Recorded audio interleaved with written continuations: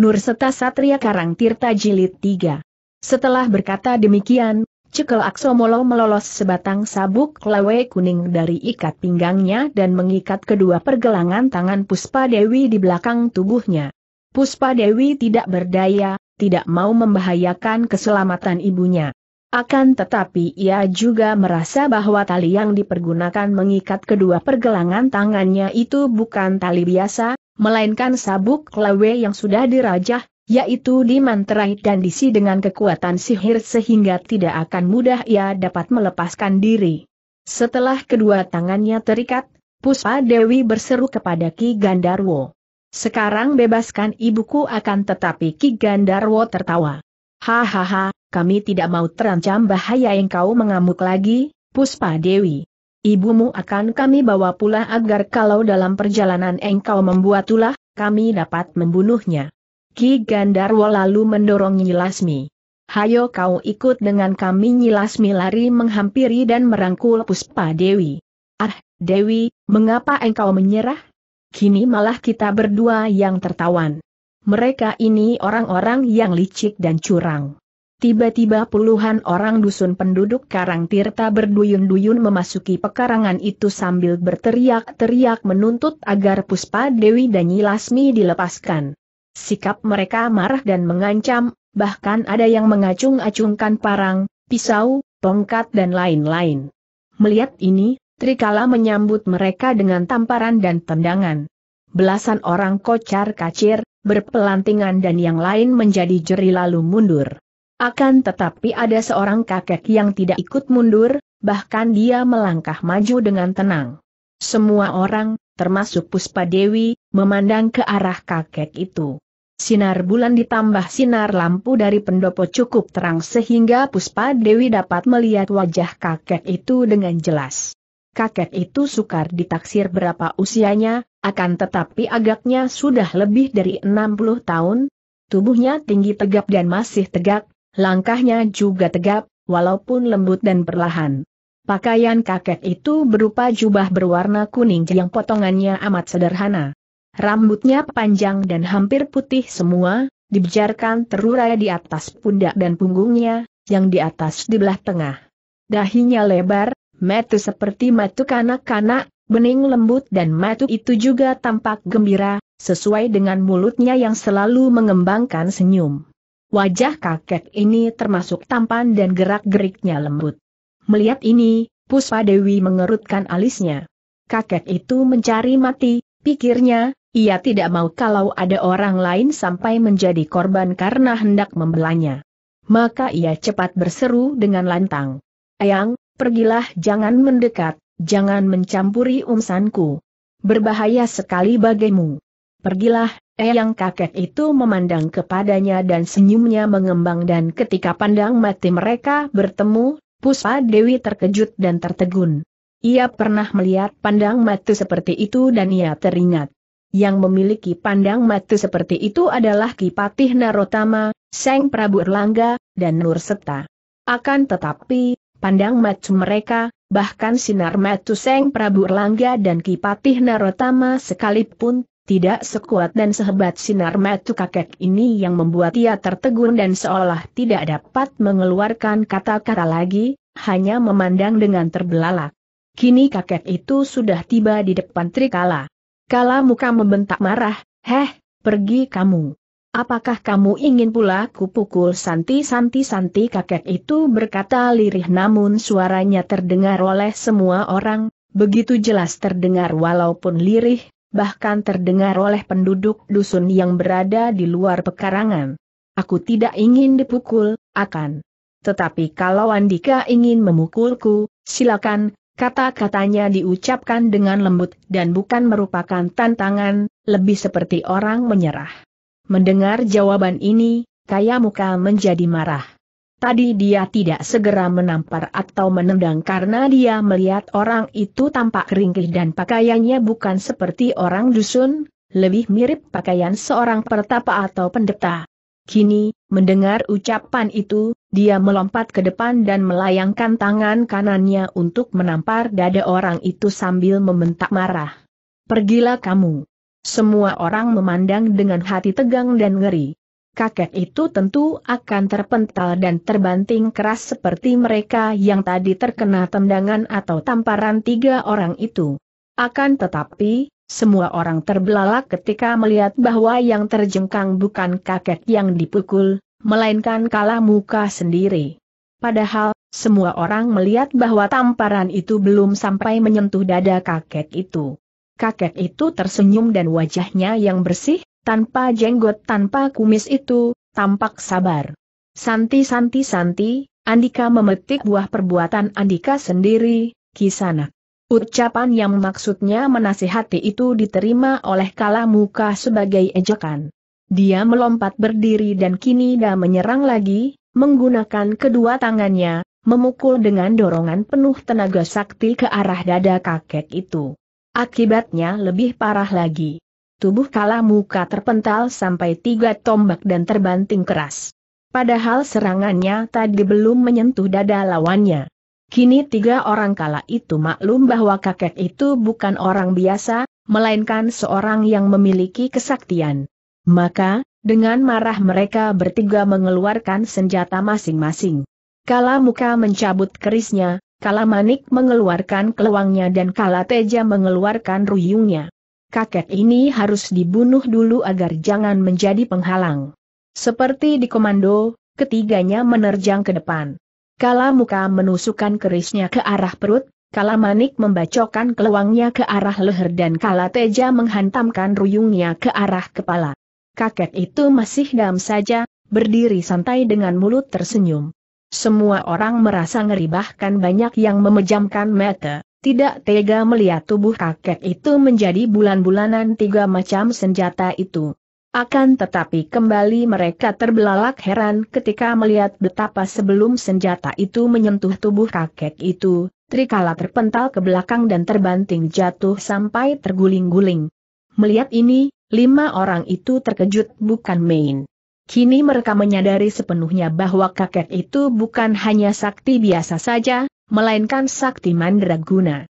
Orang tua, kalau Andika masih menentang kami, terpaksa kubunuh wanita ini kata Gandarwo. Dia menekan pedangnya lebih kuat ke leher Nyilasmi. Akan tetapi kakek itu menuding ke arahnya dan tiba-tiba Ki Gandarwo terjengkang sehingga Nyilasmi terlepas dari pegangannya. Nyilasmi berlari menghampiri Tuspa Dewi, akan tetapi Cekel Aksomolo menghadangnya dan hendak menangkapnya. Kembali kakek itu menudingkan telunjuknya ke arah Cekel Aksomolo dan laki-laki yang seperti pendeta Durna ini terpelanting. Melihat semua ini, kala muka yang sudah mendapat pesan Adipati Bisma Prabhawa bahwa kalau tidak dapat menangkap Puspa Dewi lebih baik gadis itu dibunuh saja, lalu menggunakan kesempatan itu untuk membawa kerisnya dan lari menghampiri Puspa Dewi, langsung menusukkan kerisnya ke arah lambung gadis itu. Biarpun kedua lengannya dikat ke belakang tubuhnya, namun Puspa Dewi masih dapat bergerak dengan lincah. Ia mengelak dari tusukan keris itu dengan loncatan ke samping, kemudian ia memutar tubuhnya dengan cepat dan kakinya mencuat, merupakan tendangan kilat yang menyambar ke arah tubuh kala, muka. Wuut titik des tubuh kala muka terlempar dan jatuh berdebuk di atas tanah. Melihat keadaan mereka kini terancam bahaya, tanpa dikomando lagi lima orang itu segera melarikan diri meninggalkan pekarangan dan sebentar saja mereka lenyap di telan kegelapan malam Nyilasmi berusaha untuk melepaskan ikatan pada kedua pergelangan tangan putrinya, akan tetapi, tidak berhasil. Ikatan itu kuat bukan main. Mari ku bantu melepaskan ikatan itu, terdengar suara lembut. Nyilasmi menengok dan ia melihat kakek tadi sudah berdiri di dekatnya. Ah, terima kasih, Paman. Tolonglah, ikatan itu kuat bukan main dan saya tidak dapat membukanya. Kakek itu tersenyum dan tangannya menyentuh ikatan sabuk lawe itu. Tiba-tiba saja ikatan itu putus dan kedua tangan Puspa Dewi bebas. Puspa Dewi tadi melihat kesaktian kakek Iru, dan kini kembali memperlihatkan kesaktiannya. Ikatan yang demikian kuat sekali sentuh saja sudah putus. Maka tanpa ragu lagi ia lalu menjatuhkan diri berlutut di depan kaki orang tua itu dan menyembah. Kanjeng Eyang, banyak terima kasih atas pertolongan Eyang. Saya berhutang budi dan nyawa kepada Eyang. Saya mohon, sudilah kiranya Eyang menerima saya menjadi murid Eyang agar saya mendapat kesempatan untuk melayani Eyang, sadu sadu sadu. Hanya Seng Hyang Widi Maha Penolong dan hanya kepada dialah kita mengucapkan syukur dan terima kasih, Santi-santi-santi kakek itu lalu memutar tubuhnya dan melangkah pergi dari situ. Kanjeng E yang tanda seru Puspa Dewi bangkit dan hendak mengejar. Dewi Nyilasmi mengejar dan merangkul putrinya, engkau hendak ke mana, nak ibu, ibu melihat tadi betapa saktinya kakek itu. Aku harus berguru kepadanya, ibu, agar kelak dapat melawan orang-orang jahat itu. Sebaiknya ibu tinggal di rumah paman lurah sini dulu dan menunggu sampai saya pulang. Saya harus berguru kepada kakek itu lalu saya akan pergi mengunjungi ayah Prasetyo setelah berkata demikian. Sekali melompat Puspa Dewi sudah lenyap di telan kegelapan mayam. Dewi akan tetapi teriakan dan panggilan Nyilasmi itu tidak mendapatkan jawaban. Kilurah Pujo Saputro dan keluarganya yang sejak tadi mengintai dan tidak berani keluar, kini berlari menghampiri Nyilasmi yang menangis. Mereka menghibur Nyilasmi dan mengajaknya masuk ke dalam rumah. Para penduduk juga bubaran dan kembali ke rumah masing-masing, tiada hentinya membicarakan peristiwa yang mereka tonton tadi. Hati Puspa Dewi merasa girang karena akhirnya ia dapat melihat bayangan kakek itu. Untung bulan tidak terhalang mendung sehingga ia dapat melihat bayangan itulah segera mengerahkan tenaganya untuk mengejar, tidak berani memanggil-manggil karena khawatir akan mendatangkan kesan lancang atau kurang ajar. Akan tetapi, Puspa Dewi tertegun dan membelalak-belalakan kedua matanya untuk memandang Ibi jelas menembus cuaca yang remang-remang itu. Ia mengerahkan tenaga saktinya untuk berlari cepat, diseling loncatan-loncatan jauh, akan tetapi sungguh aneh bukan main, karena jarak antara ia dan kakek itu tetap sama.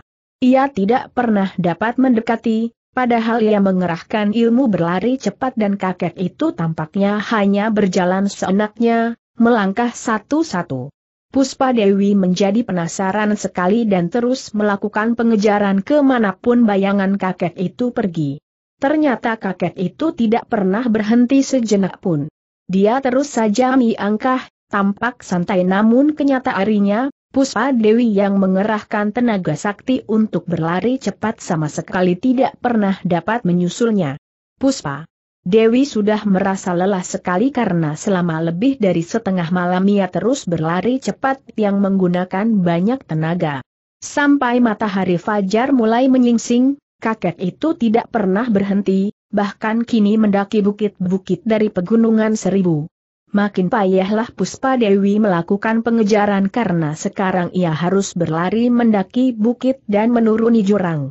Setelah matahari naik agak tinggi, Puspa Dewi tidak kuat lagi dan ia pun roboh terguling. Ia bangkit lagi, akan tetapi terguling lagi karena kedua kakinya sudah tidak kuat lagi menyangga tubuhnya. Ia merasa nelangsa sekali, akan tetapi tidak berani menanggil kakek itu. Selain takut dianggap kurang ajar, ia pun mempunyai harga diri, bahkan ketinggian hati. Ia memang mohon dijadikan murid, akan tetapi untuk minta-minta, nanti dulu.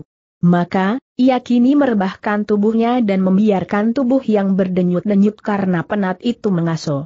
Alangkah nikmatnya rebahan begunil bau tanah terasa sedap harum, bahkan bau daun-daun yang membusuk terasa sedap. Dan sinar matahari yang terpecah-pecah oleh celah-celah daun pohon itu tampak amat indah. Sadu-sadu-sadu tanda seru bagaikan mendapat semangat dan tenaga baru, Puspa Dewi bangkit duduk dan ternyata kakek tadi kini sudah berdiri di depannya sambil tersenyum lebar. Betapa ramah senyum itu, dan betapa sabar penuh pengertian sinar mata yang lembut itu. Puspa Dewi lalu menyembah. Eyang, sekiranya Eyang berkenan, sudilah kiranya Eyang menerima saya sebagai murid, bocah manis, sungguh besar sekali tekad dan semangatmu. Jarang ada seorang bocah, apalagi seorang wanita, memiliki tekad dan semangat seperti yang telah engkau perlihatkan. Aku akan menjadi seorang berhati keras dan kejam kalau tidak menuruti keinginanmu yang amat besar itu, aduh yang, terima kasih, terima kasih Puspa Dewi menyembah-nyembah dan ia menangis saking girang hatinya. Kakek itu lalu duduk di atas batu di bawah pohon, berhadapan dengan Puspa Dewi yang duduk bersimpuh di depannya. Semua rasa lelah tadi kini lenyap, tak terasa lagi oleh Puspa Dewi. Anak baik, Siapakah namamu nama saya Puspa Dewi, Eyang, siapa orang tuamu dan di mana mereka?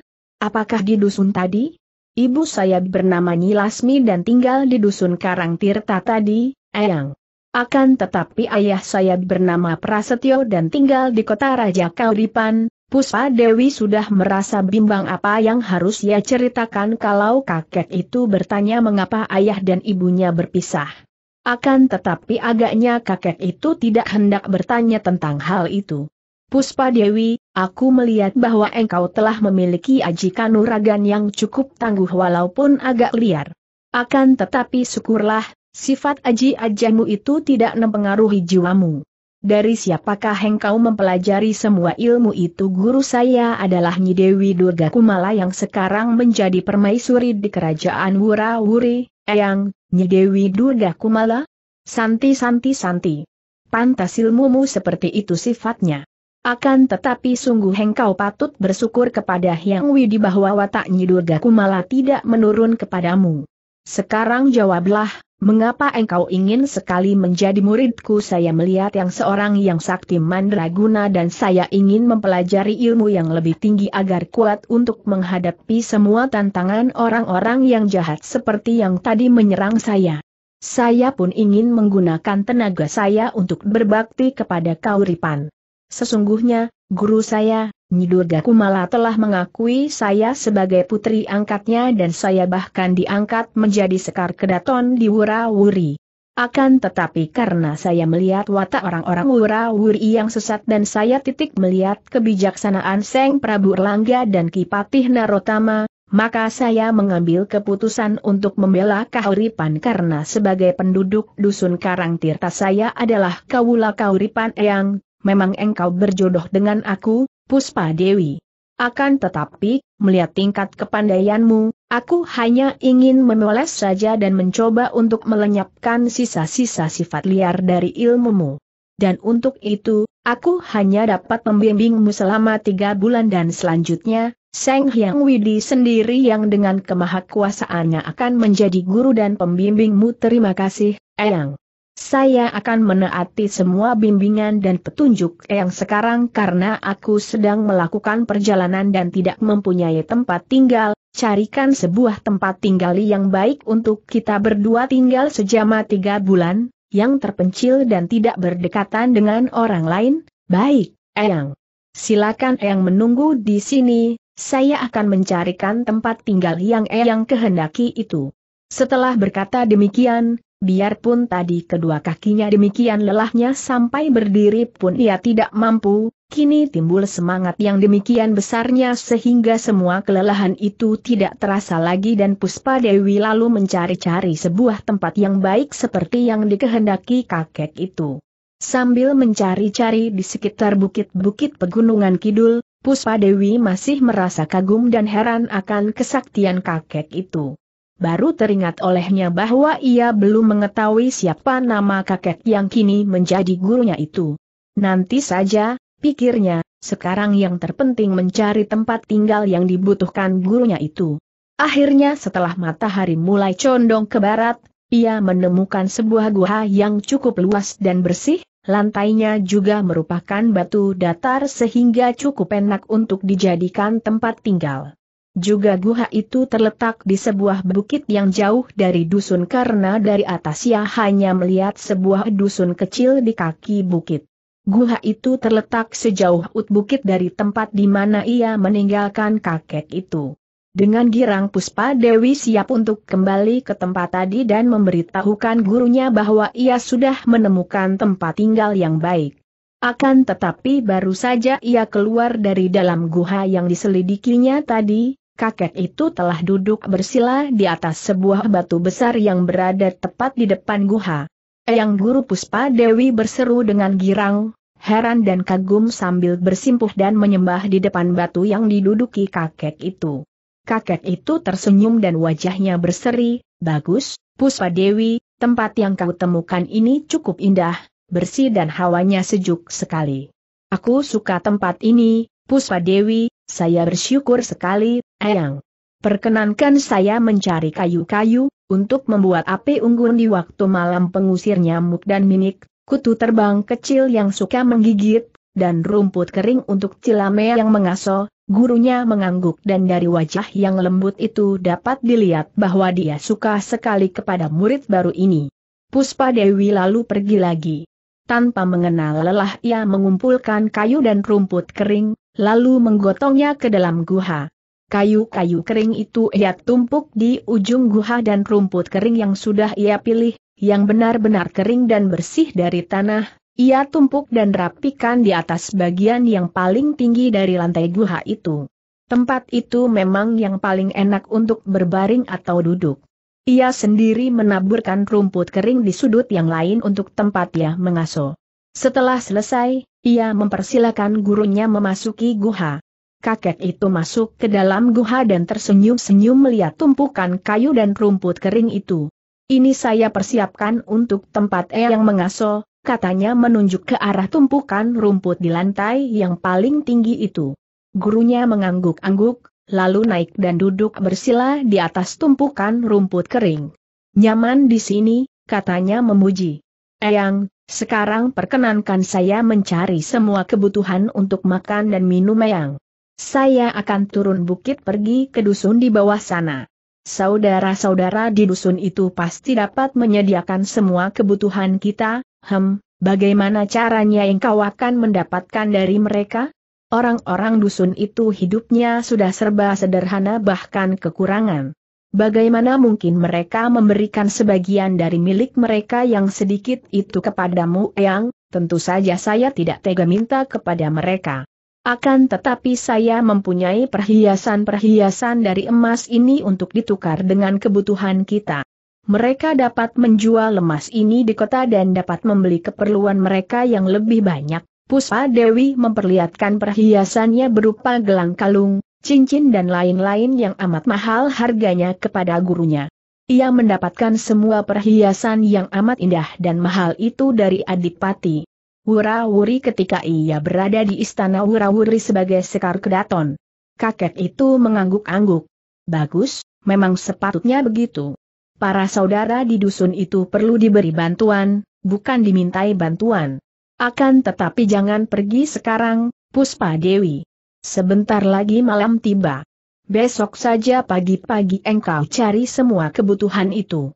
Yang penting sekarang cobalah cari di mana adanya air jernih untuk membersihkan badan dari debu.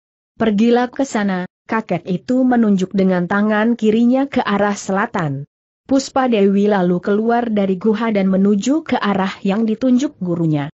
Dan, belum jauh ia pergi, ia melihat sumber air mancur dari sebuah batu besar. Sejenak ia berdiri tertegun memandang air mancur itu, seolah terpesona dan tidak percaya. Doakah kakek gurunya itu? Banyak keajaiban dilakukan kakek itu.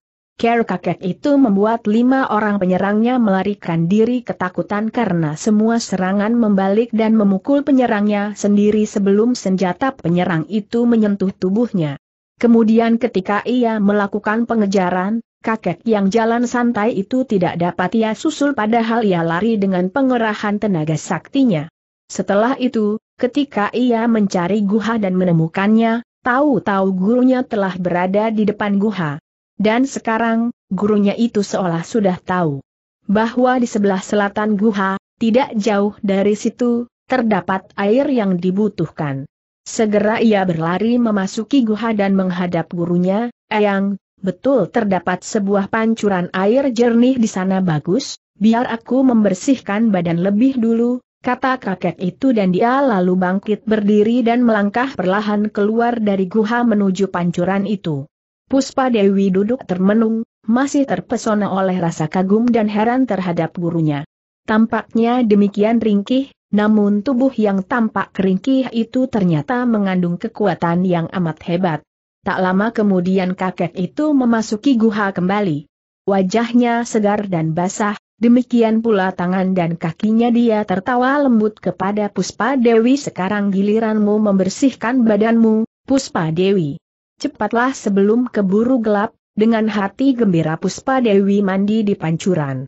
Biarpun ia tidak dapat berganti pakaian karena kepergiannya secara mendadak sehingga tidak sempat membawa pakaian pengganti, namun tubuhnya terasa segar bukan main. Juga rasa lelahnya lenyap ketika ia minum air pancuran yang amat jernih itu. Ketika ia kembali ke dalam guha, dalam keremangan cuaca senja ia melihat gurunya duduk bersila di atas tumpukan rumput dengan kedua mata terpejam. Puspa Dewi tahu bahwa kakek itu sedang tenggelam dalam samadi, maka ia tidak mau mengganggunya. Malam mulai gelap, bulan belum muncul. Ia membuat api unggun di mulut guha, lalu duduk dekat api unggun yang menghangatkan badan dan mengusir nyamuk. Puspa Dewi duduk melamun dekat api unggun. Karena melamun, Puspa Dewi lupa akan waktu. Seperti biasa, kalau dilupakan, waktu melesat cepat sekali tanpa terasa. Sesekali gadis itu menambah kayu kering agar api unggun itu tidak padam, lah merasa perutnya menagih nasi, berkeruyuk seperti ayam hutan bersahut-sahutan. Puspa Dewi, engkau lapar Puspa Dewi tersentak dan sadar dari lamunannya. Cepat ia menengok dan gurunya sudah berdiri di situ. Ia cepat bangkit berdiri dan mukanya terasa panas. Tentu mukanya berubah merah karena malu mendengar pertanyaan gurunya. Apakah gurunya itu mendengar bunyi dari dalam perutnya yang berkeruyuk tadi? Ia memandang wajah gurunya dan ikut tersenyum lalu mengangguk. Benar, Ayang, hahaha, kakek itu tertawa lembut, bagus sekali, Puspa Dewi. Memang orang tidak perlu munafik menyembunyikan kelemahannya. Bukan engkau saja, perutku ini pun menagih karena sudah tiga hari tiga malam tidak menerima makanan.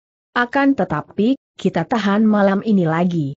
Besok engkau boleh mencari makanan untuk perut kita. Sekarang, padamkan api unggun itu. Sinarnya mengganggu keindahan sinar bulan yang sudah muncul. Mari kita duduk di atas batu depan guha, mereka berdua duduk berhadapan di atas batu depan guha. Sejenak mereka berdiam diri dan sinar bulan membuat suasana seperti dalam dongeng atau seperti dalam dunia lain, penuh keindahan ajaib, mengandung rahasia keagungan yang meresap melalui udara yang sejuk sampai ke tulang sumsum. -sum. Nah, sekarang kita sempat bercakap-cakap, Puspa Dewi. Engkau belum menceritakan semua pengalamanmu sampai engkau dikeroyok lima orang itu. Akan tetapi sebelum itu, adakah sesuatu yang ingin kau tanyakan kepadaku kembali Puspa Dewi tertegun. Kakek ini seolah dapat menjenguk isi hatinya. Memang sejak siang tadi ia ingin sekali bertanya siapa adanya kakek yang luar biasa ini. Kini ia diberi kesempatan bertanya, maka ia segera berkata, Mohon maaf, Eyang. Kalau saya boleh bertanya, siapakah Asma, nama besar, Ayang? Ayang datang dari mana dan hendak ke mana? Maafkan kalau pertanyaan saya ini lancang, haha, sama sekali tidak lancang, Puspa Dewi. Sudah sewajarnya seorang murid mengetahui nama gurunya. Aku adalah Resi Satya Dharma, pertapaanku di Gunung Agung, Bali Dwipa. Aku sedang mengadakan perjalanan berkunjung ke Kauripan dan kebetulan bertemu denganmu, maka aku menunda kunjunganku selama tiga bulan untuk membimbingmu, nama itu tidak berkesan apa-apa dalam hati Puspa Dewi karena ia memang belum pernah mendengarnya. Ia tahu bahwa di Nusa Bali memang terdapati banyak orang-orang sakti. Nah, sekarang ceritakanlah tentang pengalamanmu dan mengapa engkau tadi dikeroyok orang-orang itu, mereka berlima itu adalah para senopati Wurawuri yang hendak memaksa saya kembali ke Wurawuri, Ayang. Karena saya telah bersalah terhadap Wurawuri dan saya tahu bahwa guru saya Nyi Dewi Durga Kumala pasti marah dan tidak mau mengampuni saya, maka saya menolak ketika diajak ke Wurawuri. Selain itu, juga saya telah mengambil kepastian untuk memutuskan semua hubungan saya dengan Nyi Dewi Durga Kumala dan kerajaan Wurawuri, mengapa engkau dimusuhi mereka, Puspa Dewi karena saya telah mengkhianati kerajaan Wurawuri, Ayang, Kakek itu tersenyum lebar. Dia senang melihat betapa gadis itu amat jujur. Mudah dan enak saja mengakui bahwa ia telah menjadi pengkhianat.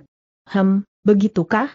Coba ceritakan, Puspa Dewi menceritakan betapa sebagai anak angkat Nyi Dewi Durga Kumala ia menjadi sekar kedaton di Wurawuri, kemudian ia diberi tugas oleh Seng Adipati Bisma Prabhawa dan Nyi Dewi Durga Kumala untuk mewakili Wurawuri alam persekutuan dengan para kadipaten lain, membantu gerakan Pangeran Hendratama yang memberontak kepada Seng Prabu Erlangga.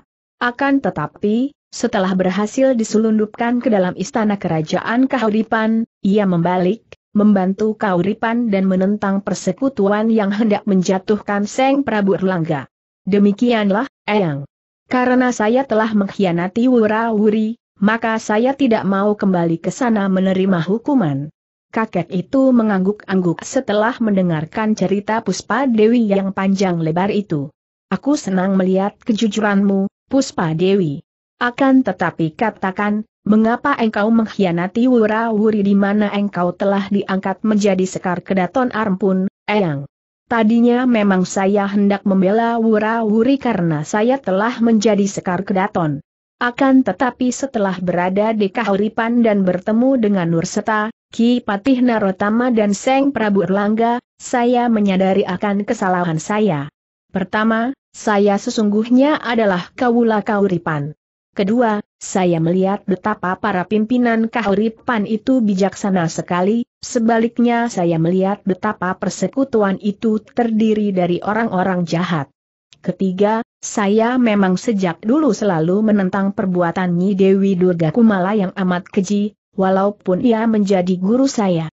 Karena semua itulah saya lalu membalik, membela kauripan dan menentang persekutuan jahat itu, Eyang, sadu-sadu-sadu, bersyukurlah kepada Seng Hyang Widi yang telah memberimu kesadaran itu, Puspa Dewi sehingga engkau tidak terseret ke dalam kesesatan. Engkau telah berjasa besar untuk kauripan, mungkin pertemuanmu dengan aku ini merupakan imbalan jasamu. Ketahuilah, Seng, Prabu Erlangga dan Kipatih Narotama yang telah kau bantu itu, mereka adalah murid-muridku, Puspa Dewi, ah Puspa Dewi menyembah. Sungguh merupakan anugerah besar sekali Eyang Sudi menerimaku sebagai murid, gadis itu merasa girang sekali. Pantas kakek ini demikian sakti mandraguna. Kiranya guru dari Seng Prabu Erlangga dan Kipatih Narotama yang amat sakti itu. Pada keesokan harinya, Puspa Dewi menuruni bukit dan mendapatkan semua kebutuhannya untuk makanan dan pengganti pakaiannya. Juga ia mendapatkan pakaian untuk pengganti pakaian gurunya. Sejak hari itu, Puspa Dewi mendapat gemblengan dari Seng Resi Satya Dharma.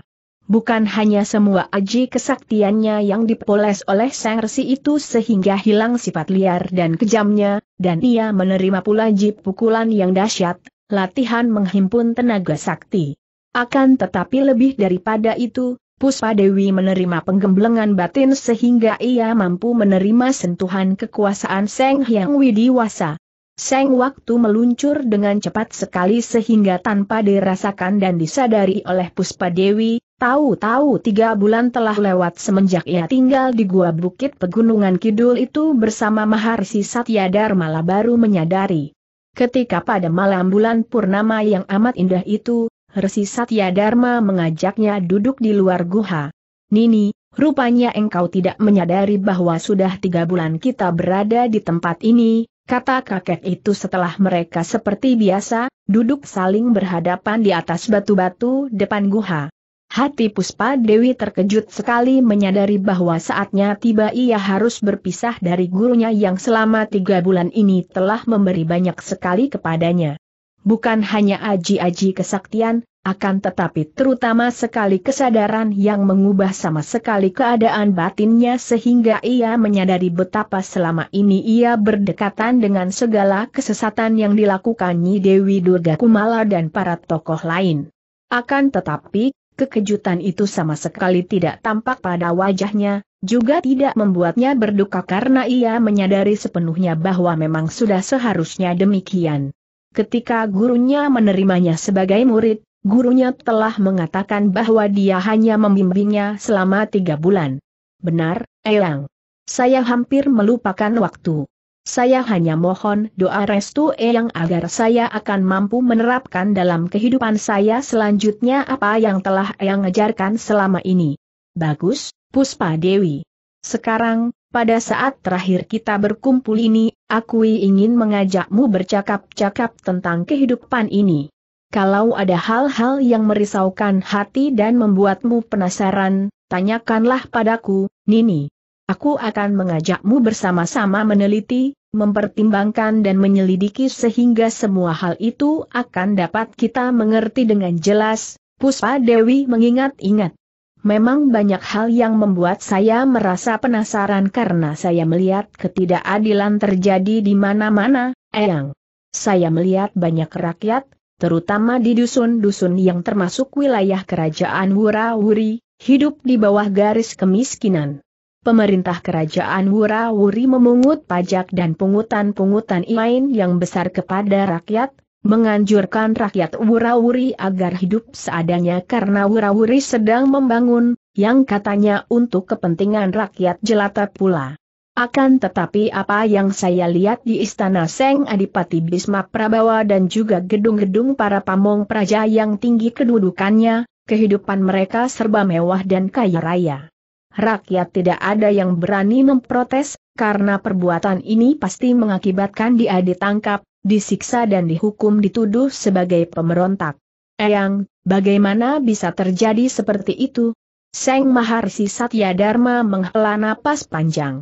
Hal seperti itu selalu terjadi dalam kerajaan yang dipimpin orang-orang yang menjadi budak-budak nafsunya sendiri, Nini. Nafsunya sendiri yang memperbudaknya sehingga dia tidak segan untuk menipu rakyat untuk memperkaya diri sendiri, menggunakan kekuasaannya sehingga sewenang-wenang, menerapkan aji mumpung, selagi ada kesempatan, menganggap diri sendiri yang paling berkuasa, lupa bahwa ada yang maha kuasa yang menyaksikan setiap kejahatannya yang terselubung sikap manis memujuk-bujuk itu lupa bahwa harta dan kekuasaan itu hanya merupakan embel-embel sementara saja, sewaktu-waktu harta dan kekuasaan akan meninggalkannya atau dia yang akan meninggalkan harta dan kekuasaan itu dan mempertanggungjawabkan semua perbuatannya di depan Seng Hyang Widi yang maha adil dan maha kuasa, akan tetapi, Eyang. Mereka itu, dari yang paling tinggi kedudukannya sampai yang paling rendah, adalah orang-orang pandai. Bahkan saya melihat banyak orang-orang yang mengaku dirinya sebagai pendeta dan pertapa, ahli-ahli pengetahuan, ahli-ahli agama, melakukan banyak perbuatan yang buruk dan jahat. Tidak mungkin kalau mereka itu tidak tahu bahwa perbuatan mereka itu jahat. Bagaimana ini, Ayang? Itulah kuatnya pengaruh nafsu daya rendah, Nini. Nafsu jauh lebih kuat daripada pengetahuan. Hal ini sudah terbukti di mana-mana. Bahkan di zaman dahulu, dalam cerita Ramayana, yang bernama Seng Prabu Rahwana atau Dasamuka itu adalah seorang maharaja yang juga terkenal sebagai ahli Weda, pengetahuannya tentang agama sudah lengkap. Akan tetapi dia pun terkenal sebagai seorang yang jahat dan kejam. Apakah dia tidak tahu bahwa segala kekejamannya itu berdosa dan jahat, berlawanan dengan pelajaran dalam kitab-kitab Weda? Tentu saja dia tahu. Juga buktinya di zaman sekarang, apakah para pamong praja yang melakukan pemerasan, kesewenang-wenangan dan pencurian harta itu tidak tahu bahwa perbuatan mereka jahat? Apakah para maling tidak tahu bahwa mendiri itu jahat? Mereka semua itu tahu belaka, akan tetapi nafsu daya rendah menguasai hati akal pikiran mereka. Nafsu memberi iming-iming, umpan penarik, berupa kesenangan, yang enak-enak dan kenikmatan sehingga manusia tidak kuasa melawan kuasa daya rendah yang digerakkan iblis itu. Bahkan nafsu daya rendah dengan pandainya menjadi pembela dan membenarkan semua perbuatan jahat itu dengan alasan-alasan yang kedengarannya masuk akal. Waduh, kalau begitu bagaimana baiknya bagi manusia untuk dapat menghindarkan diri dan mematikan nafsu daya rendah, Eyang hahaha, menghindarkan diri dan mematikan nafsu daya rendah? Tidak mungkin, Puspa Dewi. Nafsu-nafsu daya rendah itu sudah disertakan kepada kita sejak kita lahir. Nafsu merupakan abdi yang melayani kehidupan kita di dunia ini, yang mendatangkan segala keindahan pada panca indera kita, mendatangkan segala kenikmatan hidup sehingga kita dapat bersyukur dan selalu ingat akan kasih sayang Seng Hyang Widi kepada kita. Akan tetapi, justru pelayan kita yang amat berguna bagi hidup kita itu akan menjadi sumber kesesatan yang akan menyeret kita ke dalam dosa kalau iblis mempergunakannya. Karena ingin mengejar kesenangan yang dijadikan umpan oleh iblis, kita menjadi lemah dan diperbudak oleh nafsu kita sendiri. Citalah yang menjadi budak dan melakukan apa pun juga demi memperoleh kesenangan yang kita kejar-kejar.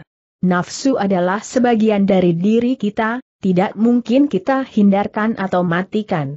Nafsu harus tetap menduduki tempatnya yang semula dan wajar yaitu menjadi pelayan kita, barulah kehidupan kita dapat sesuai dengan kehendak Seng Hyang Widi, yaitu berusaha untuk menyejahterakan dunia, bukan menyejahterakan diri pribadi. Si aku dan keluargaku, sahabatku, golonganku dan segala yang berbuntut denganku lainnya, lalu, apakah dalam kehidupan ini kita tidak boleh merasakan kesenangan? Eyang tentu saja boleh. Kesenangan itu merupakan berkat dari Seng Hyang Widi. Sudah sejak jahir kesenangan itu dianugerahkan kepada kita, melalui panca indria kita dan diterima oleh hati sehingga kita merasa senang. Kesenangan yang wajar datangnya kita terima dengan penuh rasa syukur kepada Seng pemberi rasa kesenangan itu. Akan tetapi kaiau kita sudah mengejar-ngejarnya karena diming-imingi rasa serba enak dan nikmat, kita terperangkap ke dalam jebakan IBS. Untuk mengejar kesenangan kita lalu menggunakan segala macam cara, tidak memakai lagi pertimbangan dan tidak sungkan melakukan kejahatan yang merugikan orang lain, akan tetapi bagaimana caranya untuk dapat menundukkan nafsu daya rendah sehingga tetap menjadi pelayan kita dan tidak menjadi majikan kita, yang dengan hati akal pikiran, akan teramat sulit untuk dapat menundukkan nafsu. Akan tetapi dengan berserah diri lahir batin sepenuhnya kepada Seng Hyang Widi, yaitu Seng Maha Pencipta yang juga menciptakan nafsu daya rendah. Sebagai peserta kita, maka seperti juga Raden Berkudara yang membuka pintu hatinya dan membiarkan Seng Dewa Ruci, roh suci, bertahta dalam dirinya, maka kita akan dibimbingnya dan dengan sendirinya nafsu daya rendah akan tunduk dan menduduki tempatnya yang semula, yaitu menjadi hamba manusia, terima kasih atas semua petunjuk Eyang. Akan tetapi ada satu hal lagi yang ingin saya ketahui, Eyang. Bagaimana caranya agar rakyat jelata hidup makmur satu-satunya syarat agar rakyat dapat hidup sejahtera adalah mutu para pemimpinnya. Seng Prabu Erlangga dan Kipatih Narotama telah menaati semua petunjukku. Mereka adalah pemimpin kerajaan Kauripan yang bijaksana. Kalau rajanya bijaksana, pamong-pamongnya tentu juga mengikuti tauladannya. Seorang raja dapat menjadi raja karena dipilih rakyatnya. Tanpa rakyat, apa artinya raja, apa artinya penguasa? Karena itu, seorang pemimpin harus menjadi suri tauladan. Kalau dia bijaksana, bawahannya pasti tidak berani melakukan penyelewengan karena raja tentu akan bertindak menghukumnya. Akan tetapi kalau rajanya sendiri menyeleweng, bagaimana dia dapat menindak bawahannya yang melakukan penyelewengan? Raja yang bijaksana otomatis membuat para pamong menjadi bijaksana pula dan kebijaksanaannya itu juga dapat mengatur sehingga kehidupan rakyat menjadi sejahtera, kalau begitu, tidak ada lagi golongan rakyat yang kaya raya berlebihan dan tidak ada yang melarat dan miskin sekali, eh yang kakek itu tersenyum. Tentu saja bukan begitu, Puspa Dewi. Sudah semestinya ada yang tinggi dan ada yang rendah, ada yang berhasil dalam usahanya yang jujur dan wajar sehingga menjadi kaya dan ada pula yang kurang berhasil. Akan tetapi kalau para pemimpin pandai mengatur, tidak akan ada rakyat yang demikian melaratnya sehingga tidak mendapatkan sandang pangan papan yang layak. Yang kaya harus mengangkat keadaan yang miskin dan mempergunakan modalnya untuk membuka lapangan kerja, membagikan sebagian keuntungannya kepada karyawannya sebagai imbalan karena itu merupakan hak mereka, adapun yang tidak kaya dan menjadi karyawan dapat menyumbangkan tenaga dan keterampilannya untuk bekerja dengan jujur dan setia sehingga apa yang diusahakan dari perpaduan ini akan mengalami kemajuan untuk keuntungan mereka bersama.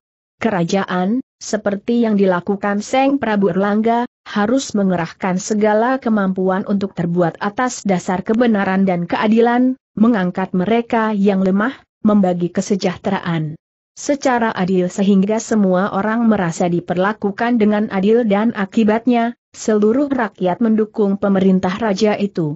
Karena itu, bagi sebuah kerajaan, yang paling penting dan harus diutamakan adalah pembangunan watak dan budi pekertinya, terutama di kalangan para pamong prajanya. Kalau watak dan budi pekerti mereka sudah sehat, pembangunan apa pun juga yang dilakukan pemerintah, pasti akan berjalan mulus dan baik tanpa ada gangguan. Mengertikah engkau, Puspa Dewi, akan tetapi, semua orang percaya akan Seng Hyang Widiwasa, semua orang beragama, akan tetapi mengapa begitu banyaknya orang yang mengaku beragama masih melakukan kejahatan, eh yang itulah, Nini, yang memprihatinkan.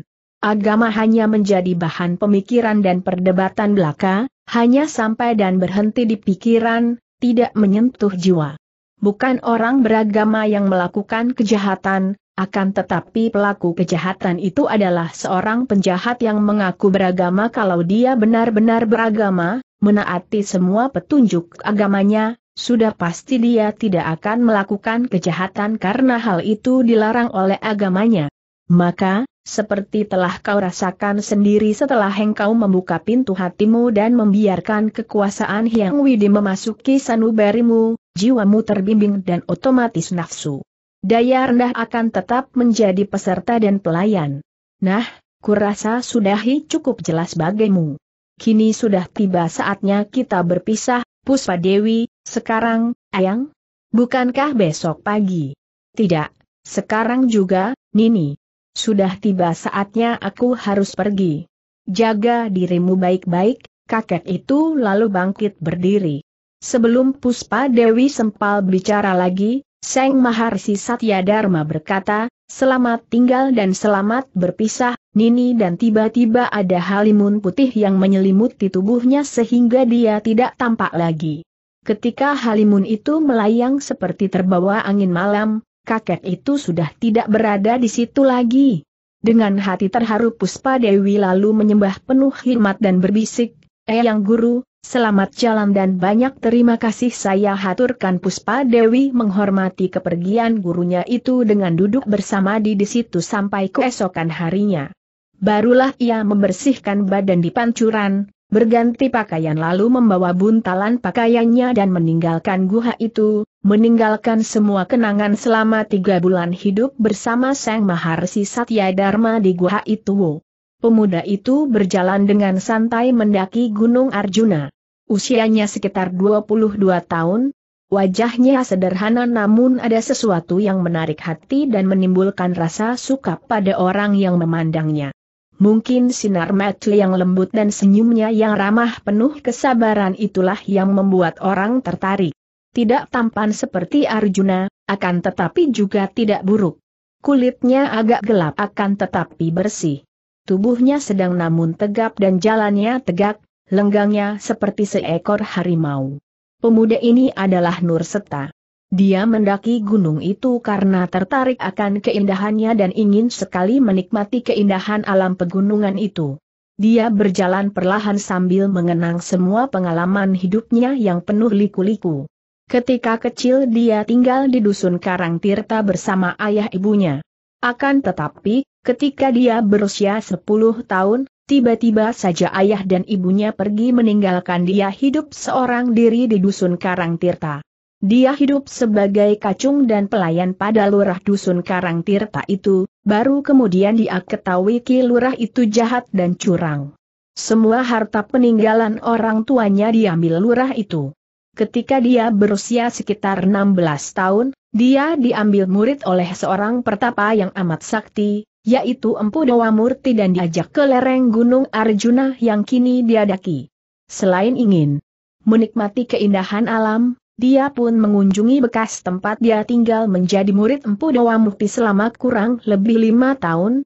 Nur Seta melanjutkan kenangannya. Setelah Empu Dewa Murti wafat karena luka-luka setelah dikeroyok tiga orang Datuk Senopati Wura Wurib bernama Trikala, tiga kala, yang terdiri dari Kala Muka, Kala Manik dan Kala Teja, bersama Resi Bajra Sakti Datuk Kerajaan Wengker, dan Ratu Mayang Gupita dari Kerajaan Siluman Laut Kidul, dia memperlabuhkan jenazah gurunya dan menyebarkan abunya di permukaan lereng Gunung Arjuna seperti yang dipesan gurunya sebelum wafat. Akan tetapi gurunya itu wanti-wanti, dengan tegas, meninggalkan pesan kepadanya agar dia jangan membalas dendam kepada orang-orang dari kerajaan itu. Tentu saja dia boleh membela Kauripan dan menentang tiga kerajaan itu kalau mereka mengganggu Kauripan dan boleh menentang mereka, akan tetapi tidak berdasar balas dendam. Setelah itu dia mengalami banyak suka duka dalam hidupnya, membela Kauripan dan mengembalikan keris pusaka Megatantra, yang dia temukan di Tegal Karang Tirta, kepada Seng Prabu Erlangga yang berhak karena keris itu adalah keris pusaka Mataram. Dia juga membela Kauripan dari pengeroyokan kerajaan-kerajaan kecil yang bersekutu dengan pemberontak Pangeran Hendratama sehingga semua pemberontak dan sekutunya dapat dipukul mundur. Dia telah bertemu dengan Senopati Sindukkerta di kota Raja. Senopati ini adalah kakeknya, ayah dari ibunya yang bernama Endang Sawitri. Ternyata dahulu, Senopati Sindukkerta tidak setuju kalau puterinya itu menjadi istri Dharmaguna, seorang sastrawan putra seorang pendeta miskin. Akan tetapi karena sudah saling mencinta, Endang Sawitri dan Dharmaguna melarikan diri berdua. Senopati Sindukkerta menyuruh para prajurit mencari, namun tidak berhasil. Akhirnya suami istri itu mempunyai seorang anak, yaitu dirinya. Mereka masih terus berpindah-pindah dalam pelarian mereka sampai akhirnya bersama Nur Seta mereka tinggal di Dusun Karangtirta sampai dia berusia 10 tahun, setelah dia menjadi dewasa dan menyelidiki, dia tahu bahwa orang tuanya pergi meninggalkan dia karena mereka dilaporkan oleh Kilurah Suramenggala yang jahat. Dia mendengar semua itu dari kakeknya, Senopati Sindukerta. Kini dia melakukan perjalanan untuk mencari ayah ibunya yang melarikan diri. Berbulan-bulan dia merantau, namun belum juga dia dapat menemukan mereka. Pada pagi hari ini, Ketika lewat di kaki Gunung Arjuna, dia melihat pemandangan yang indah lalu teringat kepada mendiang Empu Dewa Murti. Maka dia lalu mendaki gunung itu dengan santai sambil menikmati pemandangan alam yang dilewatinya. Tentu saja dia masih ingat akan jalan pendakian yang paling mudah karena dia sudah hafal. Selama lima tahun dia tinggal di lereng gunung itu dan sering kali naik turun melalui jalan pendakian itu. Tiba-tiba pendengarannya yang tajam menangkap suara melengking nyaring. Suara itu demikian tajam dan kuatnya sehingga dia harus cepat mengerahkan tenaga saktinya karena suara itu menyerang pendengarannya dan langsung menyerang jantung. Dia terkejut bukan main karena maklum bahwa siapa pun orangnya yang mengeluarkan lengkingan yang membawa getaran sehebat itu, tentu seorang sakti mandraguna. Dia lalu berlompatan mendaki lereng gunung Arjuna, ke arah suara melengking yang mengeluarkan gaung panjang seolah suara setan penunggu jurang menyambut lengkingan tadi. Karena dia mempergunakan aji bayu sakti, maka tubuhnya seolah melayang cepat sekali dan tak lama kemudian dia sudah mendekam di balik semak-semak memandang ke depan dengan jantung berdebar. Di depannya terbentang lapangan rumput yang landai dan di sana dia melihat dua orang saling berhadapan. Seorang kakek dan seorang nenek. Kakek itu berusia sekitar 53 tahun, tubuhnya tinggi kurus, wajahnya masih memperlihatkan bekas ketampanannya. Jenggotnya panjang dan pakaiannya yang hanya kain putih dibelit-belitkan di tubuhnya itu menunjukkan bahwa dia seorang pertapa atau seorang pendeta. Gerak-geriknya lembut dan mulutnya membayangkan senyum, akan tetapi pada saat itu, Kedua matanya mengeluarkan sinar berkilat yang ditujukan kepada nenek yang berdiri di depannya dengan jarak kurang lebih lima tombak. Nur Seta kini memandang ke arah nenek itu. Nenek itu berusia sekitar 51 tahun, masih tampak cantik, rambutnya panjang dan masih hitam, agak berombak dibiarkan terurai di atas kedua pundak dan punggungnya. Mulut yang bibirnya masih merah itu tersenyum mengejek matanya mencorong liar. Pakaiannya serba hitam. Tiba-tiba nenek itu membuka mulut dan terdengarlah lengkingan yang tinggi dan dahsyat sekali. Nurseta yang bersembunyi sejauh sepuluh tombak itu merasa jantungnya terguncang biarpun dia sudah melindungi dirinya dengan pengerahan tenaga saktinya akan tetapi kakek berpakaian putih itu sama sekali tidak tampak terpengaruh walaupun lengkingan itu merupakan serangan hebat yang langsung diarahkan kepadanya. Dia malah tersenyum dan setelah suara melengking itu berhenti, tinggal gaungnya saja yang menggema di bawah sana, kakek. Itu berkata, suaranya lembut namun dapat terdengar jelas oleh Nur Seta. Sudahlah, Gayatri, mengapa selama puluhan tahun engkau masih memelihara kebencian di dalam hatimu? Mengapa engkau membiarkan racun dendam itu merusak batinmu? Sadarlah bahwa kekuatan setan bagaimanapun hebatnya tidak akan mampu menandingi kekuasaan Seng Hyang Widi pertentangan antara yang benar dan yang salah akhirnya akan dimenangkan oleh yang benar karena Seng Hyang Widi selalu membimbing mereka yang benar. Sadar dan bertobatlah, Gayatri, dan aku yakin bahwa Yang Maha Kasih dan Maha Pengampun tentu akan mengampuni dan membimbingmu ke arah jalan yang benar, Eka Denta manusia sombong. Jangan mengira bahwa setelah aku kalah dahulu itu, aku tidak berani lagi menantangmu. Selama ini aku terus memperdalam ajianku dan sekali ini aku pasti akan dapat menebus semua kekalahanku yang sudah-sudah, Gayatri, semangatmu itu memang mengagumkan. Engkau tidak pernah menyerah dan putus asa. Alangkah baiknya kalau semua orang memiliki semangat seperti yang kau miliki. Hanya sayang sekali, Gayatri, semangatmu itu kau pergunakan untuk tekadmu untuk membalas dendam yang merupakan keangkara murkaan. Tidak perlu memberi wejangan padaku, Eka Denta. Sekarang dengar omonganku. Aku tidak akan melanggar janjiku yang dulu, yaitu aku pribadi tidak akan mengganggu Erlangga dan Narotama kalau aku kalah olehmu. Sebaliknya kalau engkau yang kalah, aku dapat melakukan apa saja sesuka hatiku hem, engkau tidak akan dapat menang, Gayatri, karena nafsu dendam kemarahanmu meracuni dirimu sendiri dan membuatmu lemah, Andai kata aku kalah juga, aku masih dapat melampiaskan dendamku kepada Erlangga dan Narotama, dua orang murid tersisa Dharma itu. Aku akan mengajarkan ilmu-ilmuku kepada para pimpinan kerajaan Wengker, aku akan membentuk pasukan siluman yang akan menghancurkan keuripan engkau boleh mencobanya, Gayatri. Engkau tidak akan dapat mengubah apa yang telah digariskan Seng Hyang Widiwasa engkau akan menyesal kelak. Sadar dan bertaubatlah, Gayatri, aku dengan senang hati akan membimbingmu dan menemanimu, tidak. Kecuali kalau engkau mau mengambil aku sebagai istrimu. Tanda petik. Gayatri, mengapa engkau masih menginginkan hal itu? Kita bukan orang muda lagi, huh, engkau selalu saja menolak, karena itu sebelum dendamku kepada murid-murid tersisa Dharma terlaksana, Aku akan selalu hidup dalam penasaran, sekali lagi, sadarlah, Gayatri. Yakinlah bahwa kasih sayangku kepadamu tidak pernah hilang, kalau begitu mengapa engkau tidak mau menjadi suamiku bukan, bukan itu, Gayatri.